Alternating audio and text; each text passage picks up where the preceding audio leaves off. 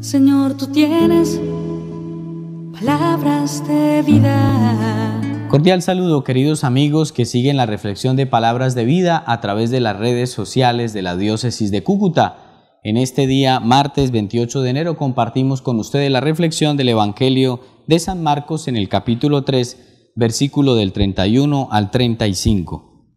En este episodio que nos regala el Evangelio, Jesús estando en algún lugar es avisado que llegan su madre y sus hermanos. Le dicen, Señor, mira, tu madre y tus hermanos te buscan. Jesús aprovecha esa ocasión para decirle a quienes están ahí escuchándole, ¿quiénes son mi madre y mis hermanos? Les pregunta. Aquellos que cumplen la voluntad de Dios, esos son mi madre y mis hermanos. En este Evangelio nosotros podemos reconocer cómo Jesús manifiesta en este episodio que para acercarnos o acrecentar la familiaridad con Dios es necesario cumplir la voluntad de Dios.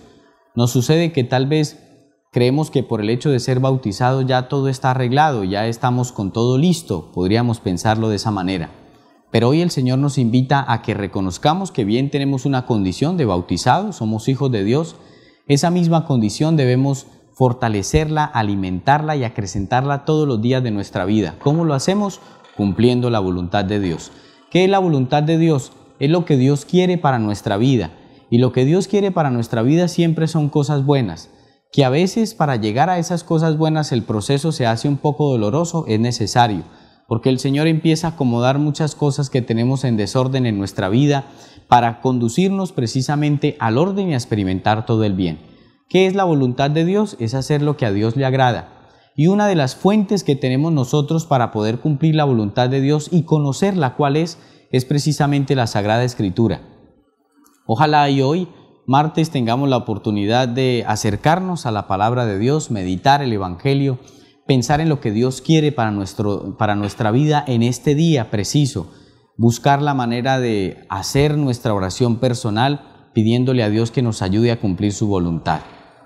En la Sagrada Escritura, en el Evangelio, encontramos todas las escenas, por llamarlo de esa manera, que Jesús, eh, en las que Jesús estaba, todo lo que hacía Jesús, Él cumplió plenamente la voluntad de Dios. Así nosotros, reconociendo que Jesús estaba con los enfermos, con los necesitados, con los desposeídos, con aquellas personas que eran rechazadas por la sociedad, permanentemente hacía el bien a los demás, esos elementos son los que nos permiten a nosotros cumplir su voluntad. Y en la medida en que vamos pidiéndole al Señor en la oración que nos ayude a cumplir su voluntad, Él se va manifestando diariamente con signos, con acciones que nos va mostrando qué es lo que Él quiere para nuestra vida.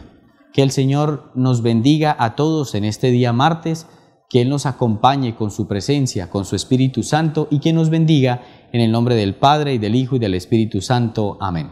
Feliz día para todos. Señor, tú tienes palabras de vida